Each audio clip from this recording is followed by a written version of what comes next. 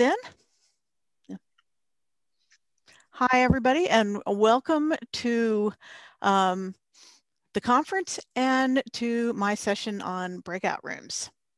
My name is Sierra Adare Tasiwoopa api, and I am the instructional technologist in the Center for Teaching and Learning Excellence at Nevada State College. I also um, do some adjunct teaching and I have been an adjunct instructor for many years, um, teaching in the online environment as well as face-to-face. And um, I am also uh, a very big proponent of gamification, either of elements within a course or gamifying the entire course.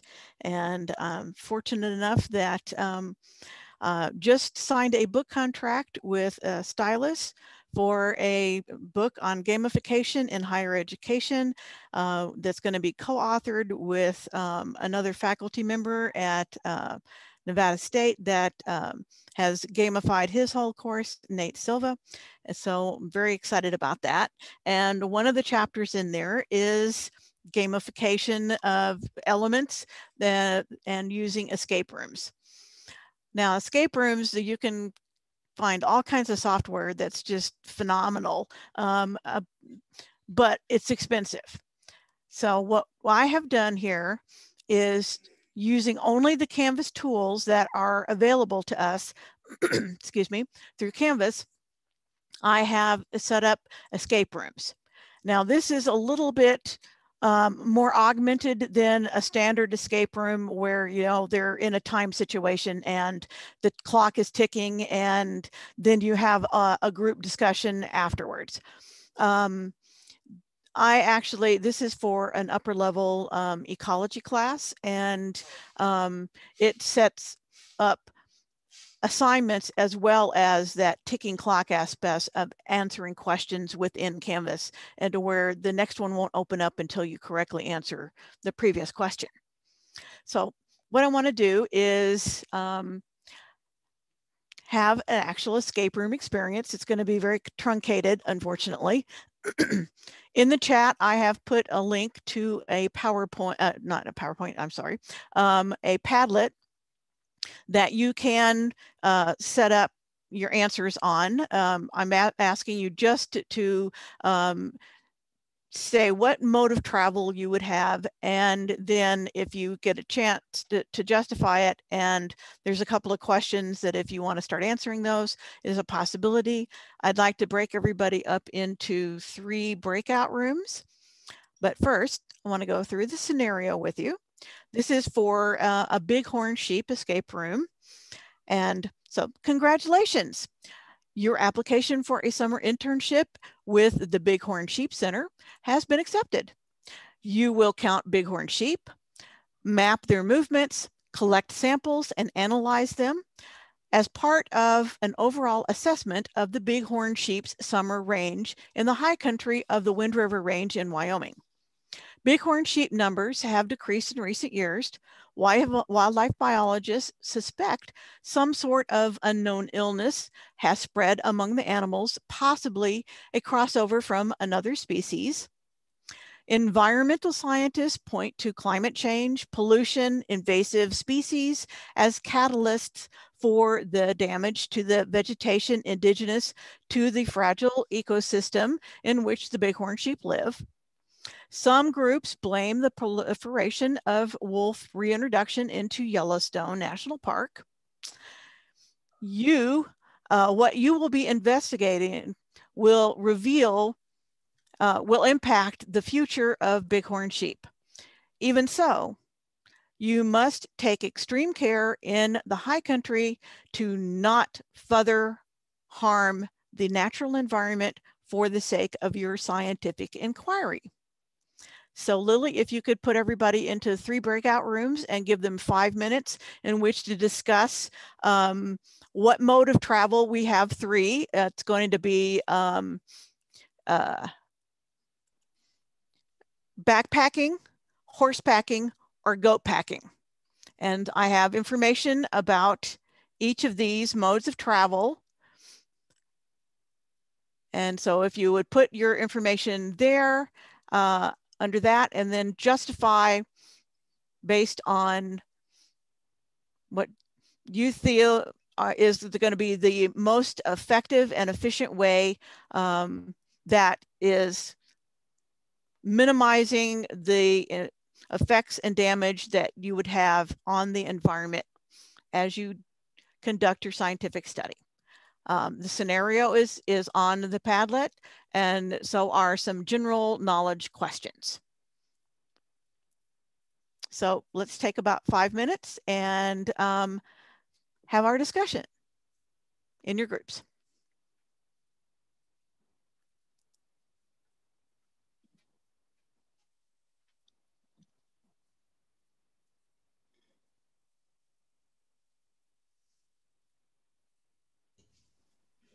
Lily, do you have the breakout rooms set up? I think we're gonna see any breakup. Pardon? We're gonna see any breakup at this point? Are we expected to go somewhere? Uh, yeah, uh, Lily, are you able to get people into breakout rooms? Yes, I am creating that right now. How many people or how many participants would you like in each room? Uh, it doesn't matter. I just need three uh, different rooms and um, you guys can decide which you think is the best method of travel, backpacking, horsepacking, or goat packing. All right, let me get those three rooms set up for you.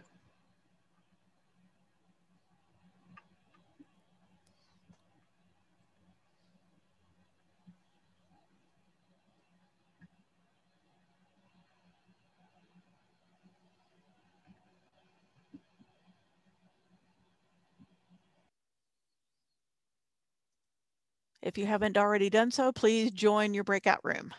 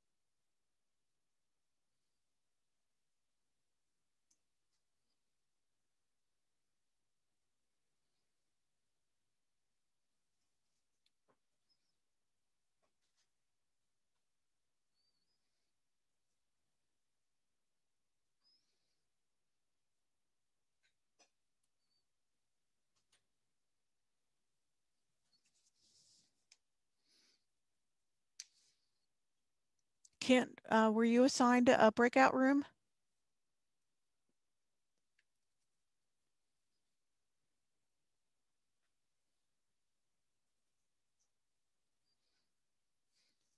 And how about you, Ron? I am online with a student and waiting a phone call to help my elderly mother. So I'm afraid I would let everybody down. So thank you for asking. I'm just going to uh, I understand. you bet. Thank you. How about you, Amelia?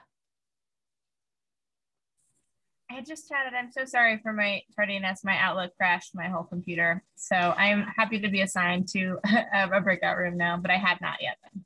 Uh, okay. Uh, and I, I get that. That's why I'm uh, only joining with my uh, audio uh, because we have a very windy day and on windy days my if I share my video I tend to do what one of my faculty members has classified as zoom uh, Botox. Everything freezes up. Yeah Um, so if you were late joining the, I've, I put everybody into breakout rooms uh, to discuss um, a mode of travel um, based on a scenario of um, being a summer intern that's going to be in the high country, counting bighorn sheep, analyzing, etc.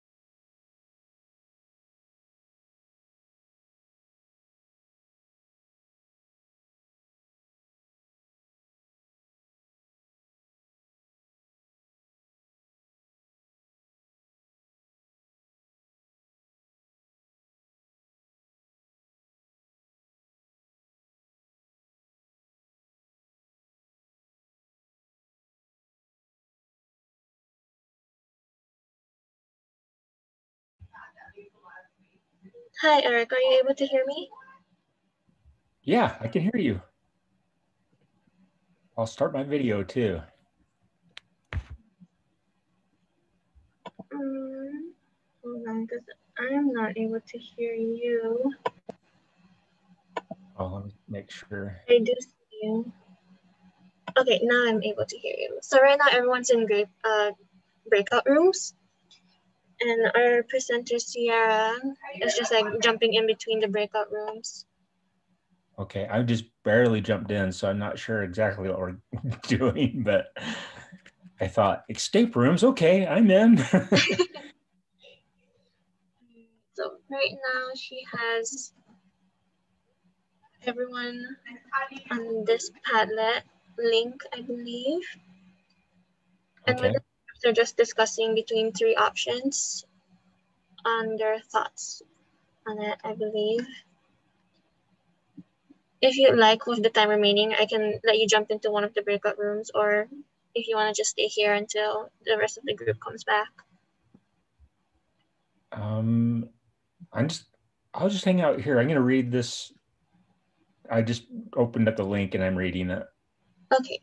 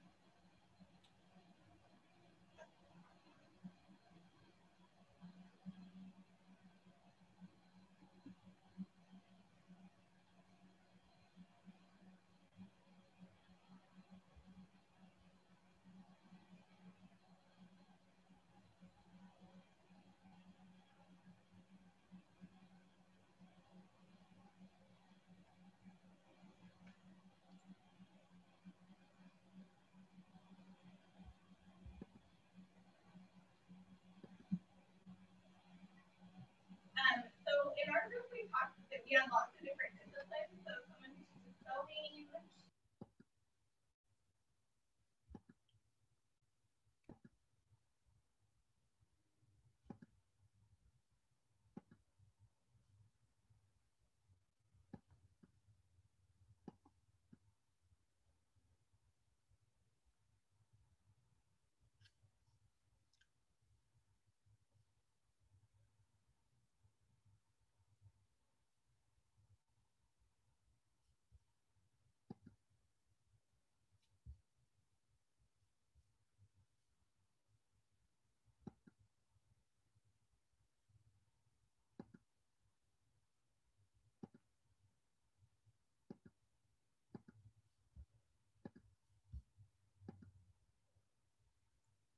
That's really interesting. I never thought of doing it that way. But you absolutely could.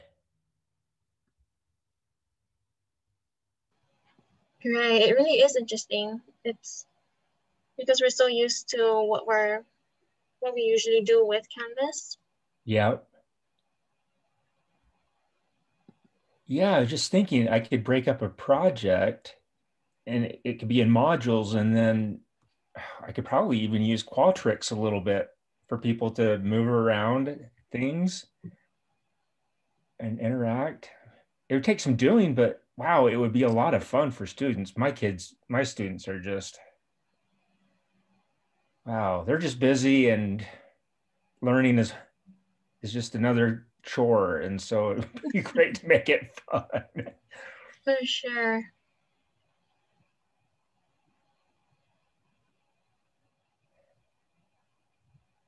Yeah, this is a great idea. I've got to, I've got to save, save this link.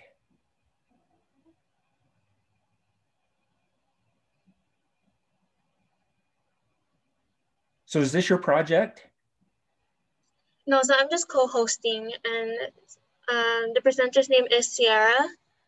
Okay. I'm not sure when she wanted me to end the breakout room. So I'm just gonna join the breakout room that she's in right now and ask her that really quick. So if you just hang out here for a bit, that's all right. Yeah, no problem.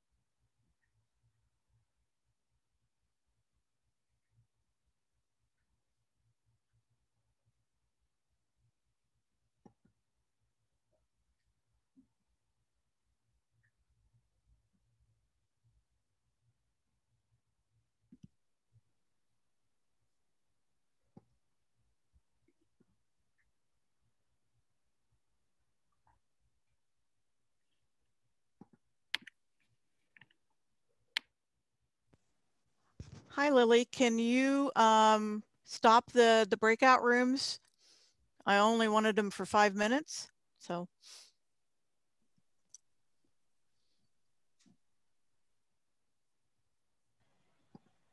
Sorry, I might have missed the time limit that you wanted. I was having issues trying to hear what the session was.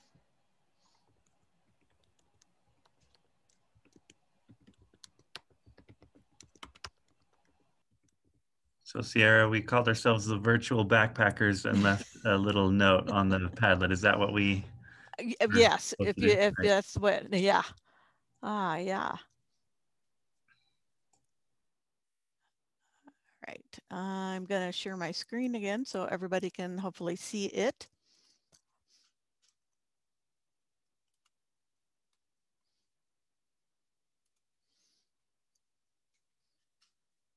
All right, um, have you gotten everybody, it's stopped the breakout rooms, Lily? Yeah, so everyone should be coming back right now. Ah, perfect. All right. Um, we have uh, the virtual backpackers that I love that um, that chose backpacking. Um, uh, does one of the virtual backpackers want to kind of walk us through what your thought process was here?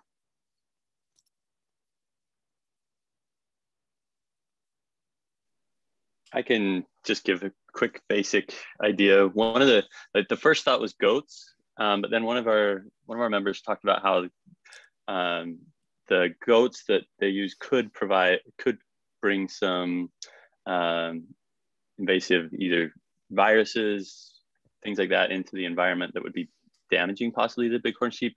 So we decided the least likely to cause problems was us if we were careful. So we were a little worried about the weight that we were all supposed to be able to carry for that distance. So that's why we made it virtual. okay. And um, how about the the handy horse wranglers? Yeah, that's that's Baron's group. We realized uh, that 70, 90 pounds is actually more than we could carry. I was at Philmont for 12 days with a 60 pound back uh, backpack, which was almost twice the recommended weight allowance. And uh, there's just no way you could spend a summer hiking carrying that 70, 90 pounds.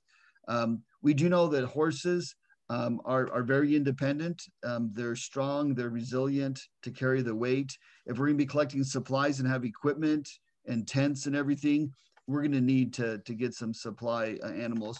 And we thought that uh, none of us have experience with goats. And if if you can take a horse versus a goat, it's easier for you to travel. With a goat, you're still walking. And again, back to that, if, if you spend a whole summer walking, uh, we just don't know the high altitude fitness of everybody thinking that we'd want to be able to to spend time with the horses. Plus, it's an adventure, and I think that you know horses are are, are very resilient to native animals out there, and we think that you can protect them as well as the uh, the animals. And then if there's any wolves, horses also give you a little bit more safety and security by having a larger animal to help uh, provide that for you. Okay, what about our other group?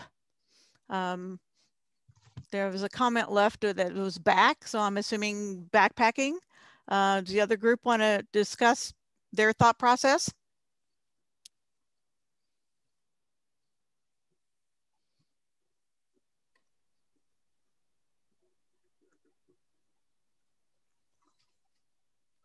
I guess not. Is that our group now? Is that um, yes, there, I think so. Okay, so I just gotta go summarize because you know our group is diversified as well. I think nobody knows everything. There's only one. I think Rebecca has that brother who knows how to backpack. So at first we were thinking of goats and then get into the horse idea because we don't know the basic things anyway.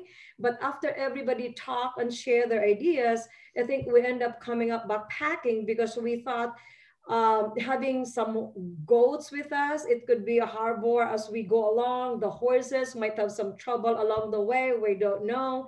And a backpacking is the easiest way to go because we don't have to worry about other people or other things out there or other animals, that, but just ourselves. So based on the discussion of everyone, I think we're hung out, but I think most of us ended up having backpacking because I think the animals has other issues again, walking along with a long travel. So that was our discussion all about.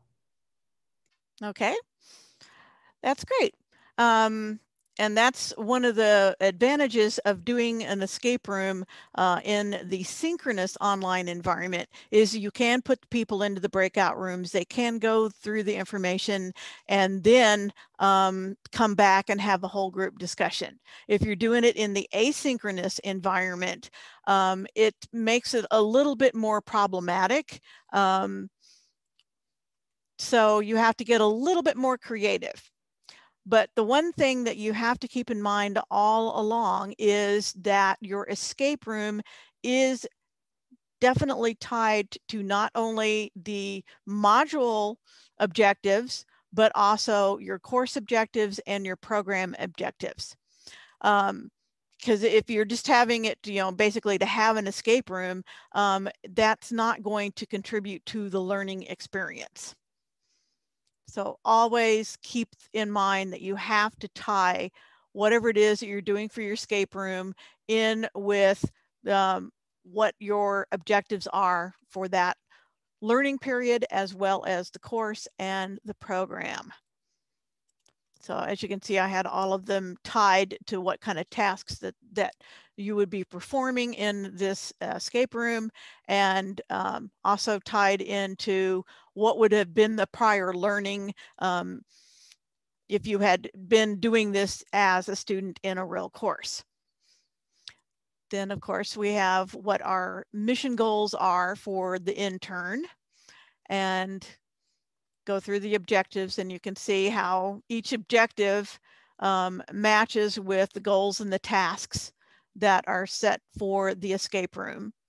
And then what are going to be your tasks within it. And so um, what you did in the breakout room was just a short piece of, of a greater puzzle that would have been um, justifying what your mode of travel was. And then based on that, you would be discussing um, your equipment list and your supply list and your reroute of uh, your route for your re-rations. Because if you're going to be gone for a long time you're obviously you can't carry everything in um, and so you're going to have to set up re-ration points. All right so how i have this set up is using mastery paths and i'm not sure if, if anybody is uh, familiar with them, but it's how you can actually set people onto a particular pathway and therefore they will only see the information that goes along with that pathway. So instead of having everybody read all the stuff about um, your travel modes once you decide on what it's going to be, then you would get specific to that uh, particular travel mode as far as information goes everybody would be getting the the general questions that would be timed and that's the the the traditional escape room where you've got the, the ticking clock while you're doing things. Um, so the students would actually get to choose their travel mode like you did.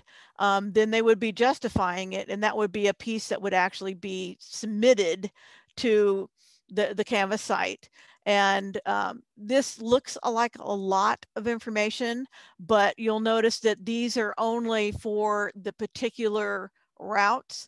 Um, once you've chosen your travel mode, uh, you would not see any of the other travel modes. You would only see the information attached to your travel mode and the ones that would be for everybody. So the general knowledge questions um, would all be for everybody, but the individual, um, what your additional information for backpacking, horsepacking, or goat packing, and your supply list that would go along with each one of these animals uh, or uh, backpacking would be specific to just you. And as the students start filling the information in, um, they're only going to, their materials go into the Canvas gradebook and only for them. So in this case, and thank you, Zara, for being one of my fake students in this. Um, she chose goat packing. And so therefore the other mode of travel, the justification for horse packing and backpacking is not even available to her and she would not even see this. The same thing with um, turning in your questions um, everybody gets those. But for doing the supply list and then the questions that are specific to that one particular area, that student is only going to see those and your grade book is only going to have that available for those students. That allows you to um, sculpt what you're giving to the students based on what they see as their their preferred mode of travel and what they have done to uh, think in terms of of everything that they're going to be submitting.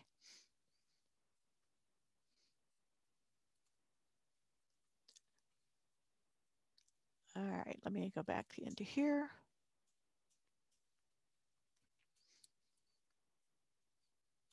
So um, I can't see the chat. So is there any questions as we're going on? All right, there is a question from, oh, Michelle asked a question, is Mastery Path an ad on Canvas? To which um, a couple of people have replied that there is a built-in feature for Mastery Paths. Yes, Ma uh, Mastery Paths comes as part of your Canvas package. You do have to turn it on and you do that by going to settings and going to feature options. and just turn on mastery paths in the list. And that will actually put it in your course. So when you go in to set up what's going to put the people on to the three paths, and you are limited to only three paths. But when you set that up, you have your questions that are going to be determining which pathway that the students are going to be on. So you have the your three choices and they would say yes to that choice and no to the others. And that will put them on the individual mastery path. So you can see once, once they've made their choice, then the people who chose backpacking would only see information about, you know, justifying your backpacking, having additional information about the, the backpacking, um, and then the general questions that are going to be for everybody. And the, the next question won't open up until you've answered the first one correctly. Then the next one opens and so on until you get through what are your questions about that. Then they would supply the, their uh, supply list that would be for backpacking specific and their their re-ration um, plan and where they're going to meet for re-rations. And then they have specific questions about backpacking and then a final one um, the, that's going to trigger the badge. And so for each level, they're only going to get what you see there. This works great for the asynchronous. Now, if you're doing a synchronous one, you can still put them on the mastery paths so that they'll only get the information from their chosen group. But you would actually have them doing the, the general questions beforehand and then come together and uh, in their specific groups in the Zoom meeting, um, have them discuss their re-ration plan and develop their supply list and um, then present that as a whole to the class and have a debrief where you you talk about um, their choices and why they they made those choices and um, how they might alter it after you have a discussion with with the different groups that had chosen the different pathways.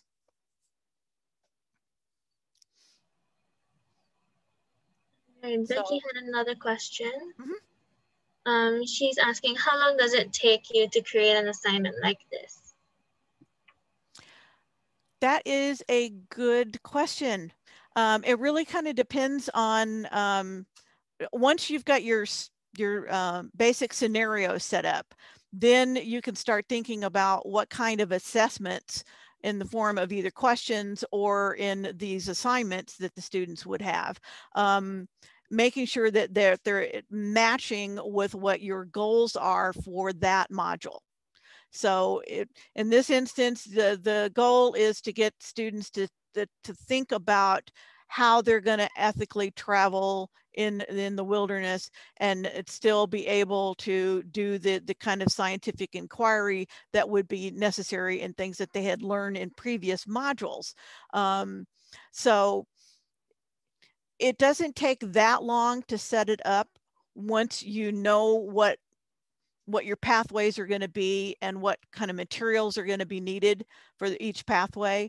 Um, it's it's getting to that that stage to where it's like okay this is this is going to be my different pathways and this is what i really want to emphasize with the students. I really want them to get these particular things um, so that would be quote in, in this case the goals that were part of your um, uh, mission.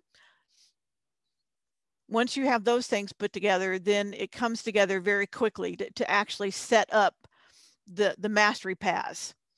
The, this part of it, where I have put the, the students on the different pathways, um, comes together very quickly once I have decided on what my learning objectives are for this escape room.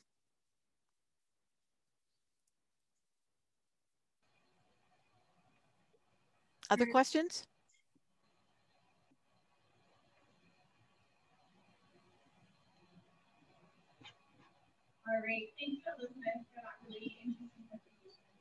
Looks like we're just about out of time. Um, I did leave a form in the chat, just a quick Google form, just giving feedback for the presentations that you've attended so far, and also to leave some feedback for Sierra.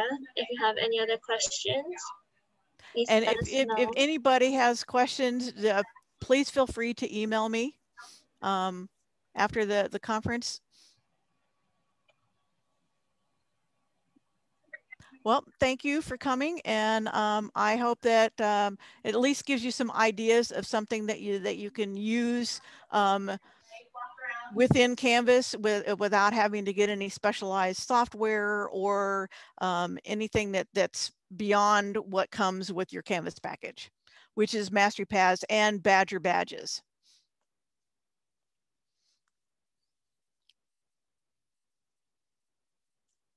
All right.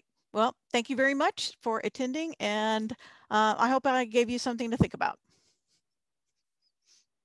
Besides horse packing, go packing, and backpacking. Thank you, Ms.